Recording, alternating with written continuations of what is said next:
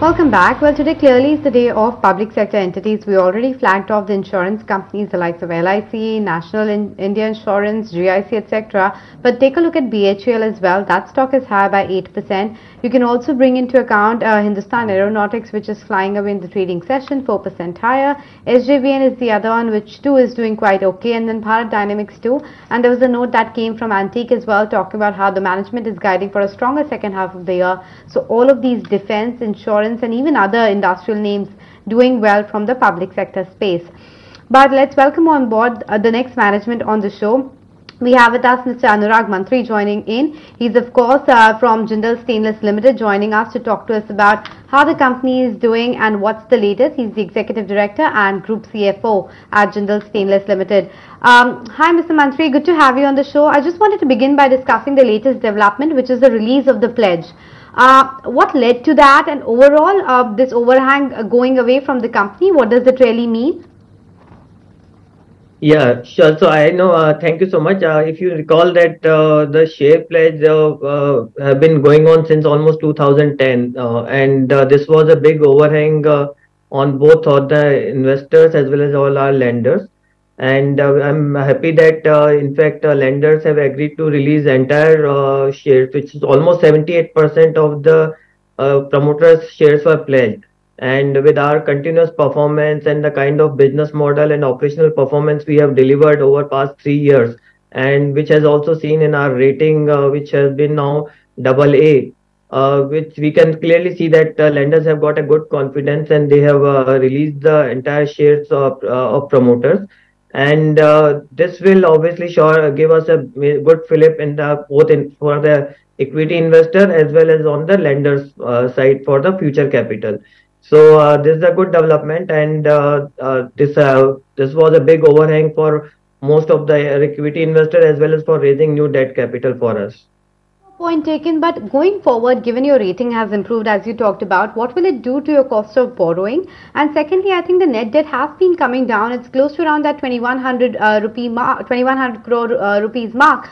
Uh, what's the roadmap for the leverage going forward?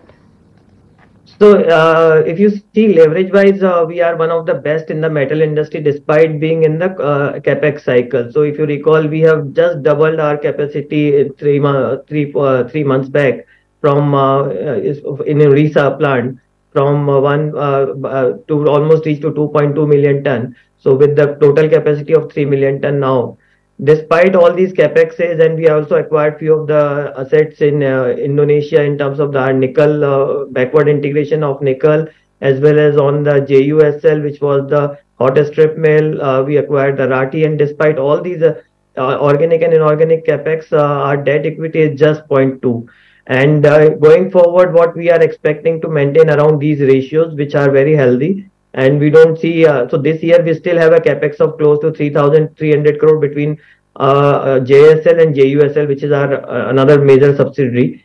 And still, uh, we don't see a debt increasing by more than 200 crore. So largely, these capex will be funded from internal accrual, and there would be only 200 crore increase from the March 23 level of debt. So overall, largely these capex will be funded in, uh, through internal accrual. So we see a good, uh, healthy, well, continue to maintain a very healthy ratios, uh, both in terms of debt equity and debt EBITDA side, and don't see any of the uh, pressure on the, uh, raising a large quantity of debt. Okay, right, Mr. Mantri, thank you so much for that. But, uh, you know, let's talk about the industry level, right? Higher in uh, Chinese imports into India at uh, subsidized rates continue to be a very big problem for the industry as well. Now, uh, one, how is the company maintaining its volume growth despite this increasing imports into India? And uh, are you hopeful that uh, the countervailing duty being imposed on stainless steel imports soon, that is something that we could watch out for as well? So, um, uh, if you I say about the imports, I think if you see the import pattern, last quarter, if you see uh, on a year-on-year basis, imports have increased by 26%, and out of which 55% uh, were hijacked by Chinese uh, imports. So we see a big uh, gap, uh, big uh, kind of unabated imports coming from China market, uh, which are also not giving a level playing field.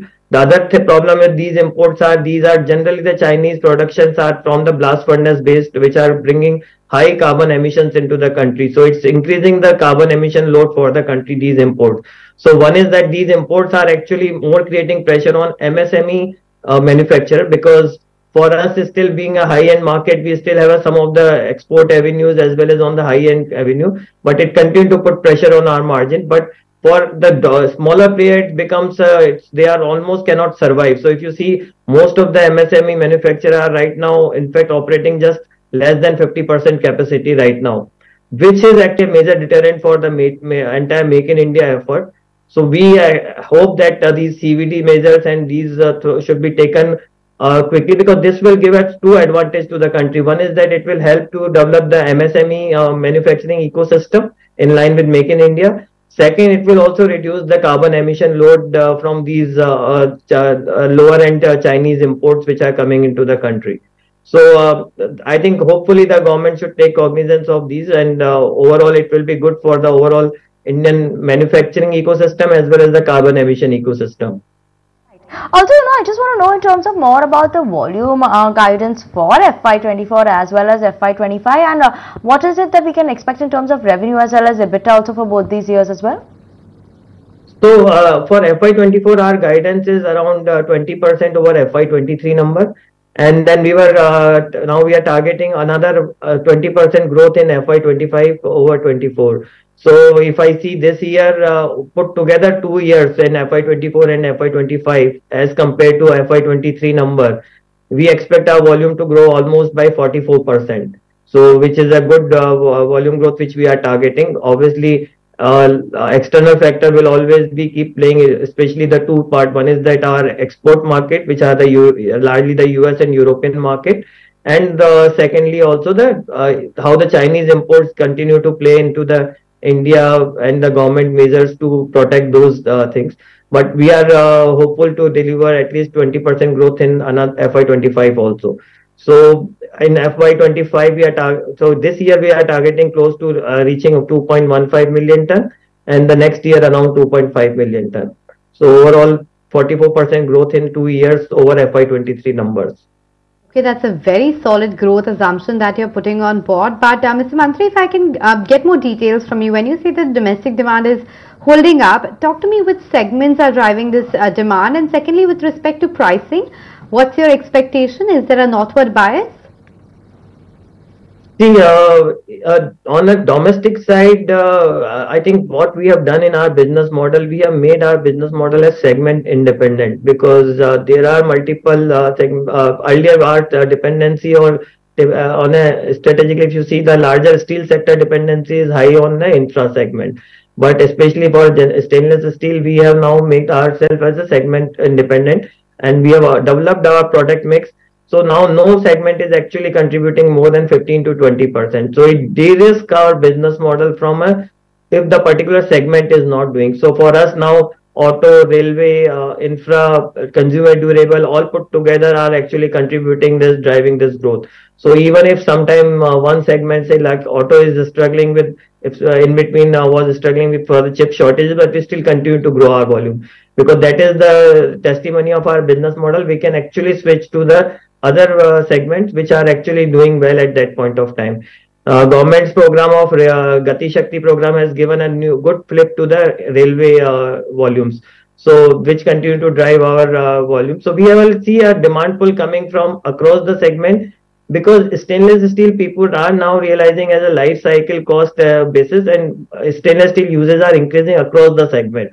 And uh, so we continue to see across the segment growth. I would not put that only one segment will be driving, but I would say like uh, over and top of it, the newer end segment, like which is the primarily we call it a green and blue economy. Green is largely for the green, related to green energy, and blue is related to the water uh, related economy. Where the stainless steel use uh, uses are actually uh, increasing uh, considerably, and say so like whether it's uh, in on energy side, whether it's the uh, biofuel, it's a CNG, LNG, CNG, all these actually are, uh, have a large stainless steel uses. Similarly, on the water treatment side, uh, the stainless steel is the key raw material, key material which to be used.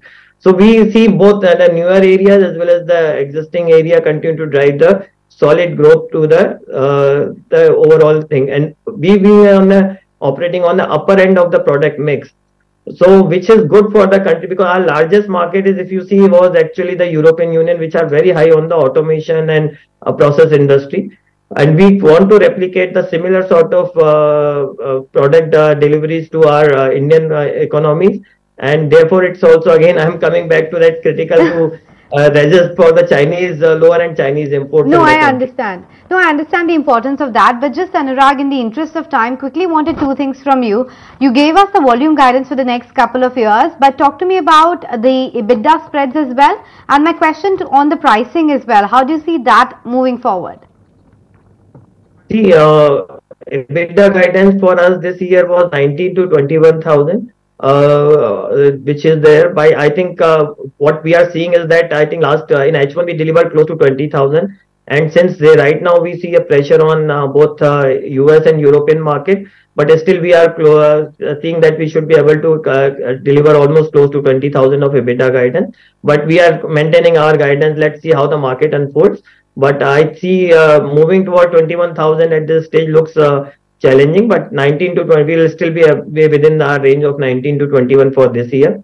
Uh, next year, it's a bit early. Uh, overall pricing side, uh, in stainless steel, it's a pass-through model, what we say. And right now, since the raw material prices are also lower, so we are actually passing on that benefit to the consumer. And uh, we reduces our prices immediately to pass give benefit to the domestic consumer. So the prices uh, overall realization uh, remains uh, down, but that's also a pass-through model, but we'll be able to maintain our EBITDA numbers.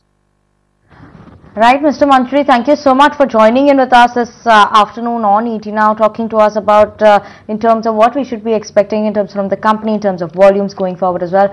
Thank you so much, Mr. Mantri. Uh, so yes, maintaining their uh, EBITDA guidance at rupees 19,000 to 21,000 per ton. That's the word coming in from the management of uh, Jindal Stainless. But uh, on that note, we're going to step into a very short break. Don't go anywhere. We'll be back with more after the break.